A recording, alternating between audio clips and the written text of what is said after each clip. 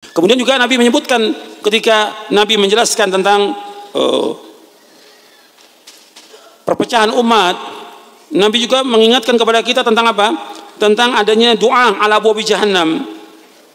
Di buku ini ada saya sebutkan tentang doa ala bubi jahannam.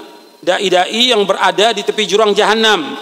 Yang mengatakan demikian Rasulullah SAW. Bahkan Allah menyebutkan dalam Al-Quran. Allah menyebutkan dalam Al-Quran. Dalam surah Al-Qasas ayat 41. Antum catat tuh. Surah Al-Qasas ayat 41. Waja'alnahum a'immatan yad'una ilan nar. Kami jadikan mereka dai-dai yang mengajak manusia ke neraka.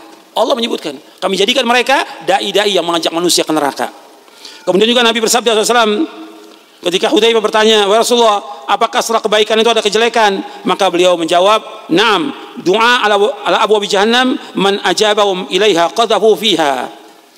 Itu di halaman 456.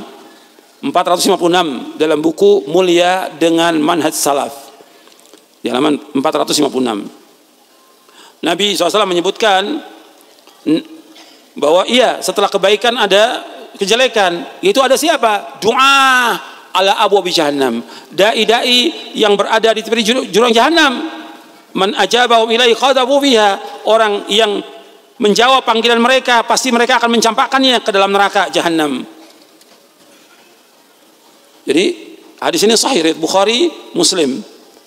Jadi kalau kita mengikuti dai-dai yang sesat akan dicampakkan ke dalam neraka jahanam waliyatubillah. Dan kalau kita lihat juga sekarang ini ulama yang benar, ulama sunnah itu sedikit atau banyak? Sedikit. Dan sudah banyak yang wafat. Sudah banyak yang wafat. Ya mujaddid pada abad ke-20 ini ya tiga imam itu. Syekh Abdul Aziz bin Abdul bin Baz, Syekh Muhammad Nasrul Albani dan Syekh Muhammad bin Salih Utsaimin rahimahumullah. Ini sudah wafat. Di tahun 2000 mereka sudah wafat. Ini mujaddid pada abad ke-20. Mulai berkurang. Mulai berkurang. Dan banyak kerusakan di mana-mana setelah wafatnya beliau ini. Setelah wafatnya mereka para ulama ini mulai banyak kerusakan-kerusakan di muka bumi ini. Dan muncul tokoh-tokoh yang menyesatkan. Nabi bersabda dalam hadis yang sahih antum lihat di halaman 457.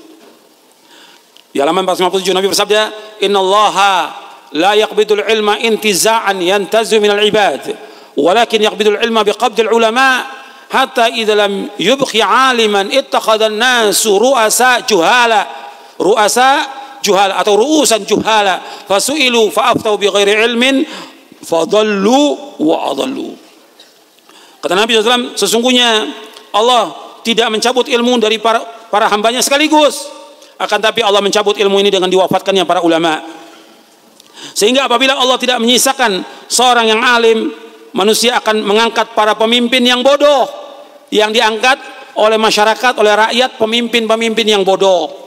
Mereka ditanya, lalu mereka berfatwa tanpa ilmu, maka mereka sesat dan menyesatkan orang lain. Hadis ini sahih diriwayatkan oleh Imam Bukhari dan Muslim. Imam Bukhari Muslim dari sahabat Abdullah bin Amr bin As radhiyallahu anhuma. Ya, Nabi sudah menyebutkan nanti akan ada tokoh-tokoh yang menyesatkan. Tokoh-tokoh menyesatkan. Diangkat pemimpin yang mereka nggak ngerti agama. Dimasukkanlah ke dalam apa aja mereka. Mereka bentuk apa aja. Apakah bentuknya ormas, apakah organisasi, atau apa aja yang mereka lakukan, diangkat ya. Pemimpinnya mereka, orang-orang yang, apa kata Rasulullah? Ruusan juhala. Pemimpin yang yang bodoh. Kemudian mereka ditanya masalah agama. Ya karena ini organisasi Islam, ormas Islam. Ditanya tentang masalah agama. Kemudian apa? Dalam riwayat Bukhari ada penjelasan.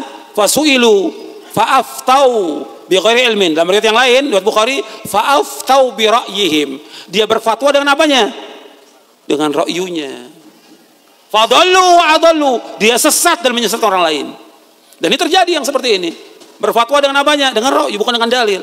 Kan tadi sudah kita bicarakan bahwa kita dalam beragama sumbernya apa? Dalilnya apa? Quran dan As-Sunnah. Kita nggak akan sesat selama program dengan Quran dan Sunnah.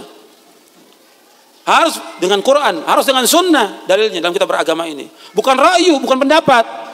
Jangan menurut pendapat saya, menurut ra'yu saya, ya rusak agama ini. Berapa ra'yu? Kalau seribu orang, seribu ra'yu. Seribu pendapat, rusak agama ini. Dan ini yang terjadi seperti ini. Yang mesti lihat dalil. Menurut dalil Quran seperti ini. Menurut dalil sunnah seperti ini. Seperti yang tadi saya bawakan dalil, Quran, hadis, Quran, hadis. Dalil semuanya. Bukan rayu. Ini dalam kita beragama. Sebab sudah banyak yang sesat dari umat ini. Kita ingin selamat. Kita ingin selamat. Maka jalan selamat itu harus kita tempuh.